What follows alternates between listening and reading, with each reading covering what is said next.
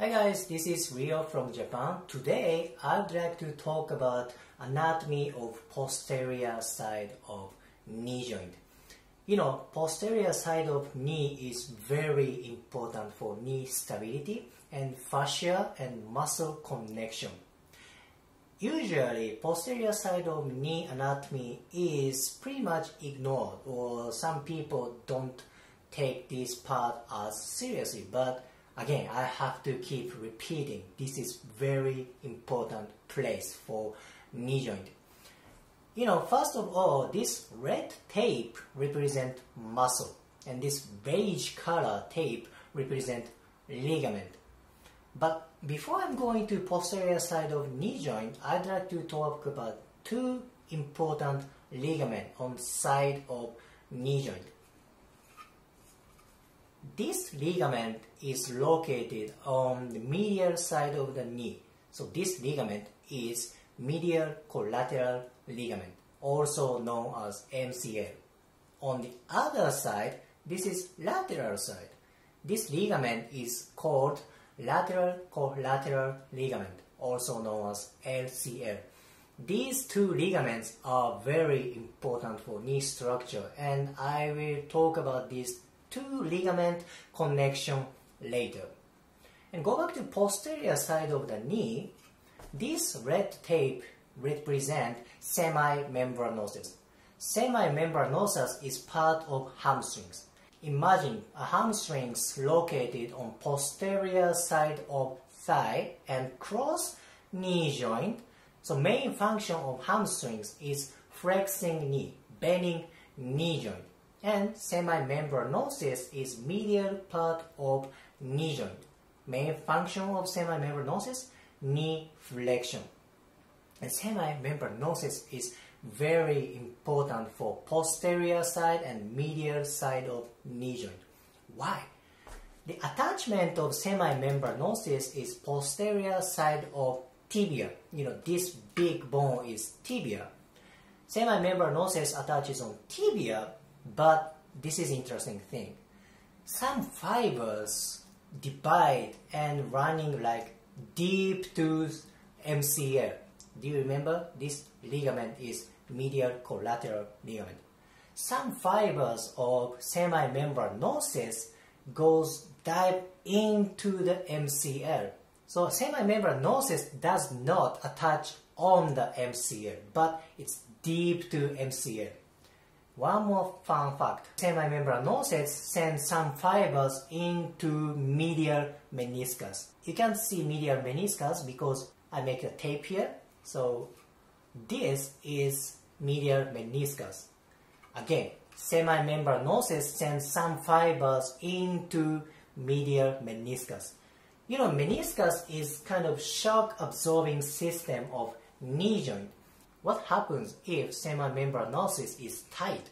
It could affect medial meniscus or MCL. Why? Because these two structures have close relationship with semimembranosus. This sounds very interesting and this sounds very important, right? And more interesting things. Semimembranosus has few more attachment. The one attachment is this one, you know, this beige tape is ligament. This kind of diagonal ligament is oblique popliteal ligament because it's running like obliquely, right? Oblique popliteal ligament. So semimembranosus attaches on oblique popliteal ligament. And one more interesting attachment, and semimembranosus attaches on fascia of popliteus. Popliteus is located at very deep inside knee joint on posterior side. You know, popliteus is running like this. Again, semimembranosus attaches on oblique popliteal ligament and fascia of popliteus. So far, semimembranosus has so many relationship with knee structure. MCL, very close to MCL, and it attaches on medial meniscus and oblique popliteal ligament and fascia of popliteus. This sounds very interesting, right?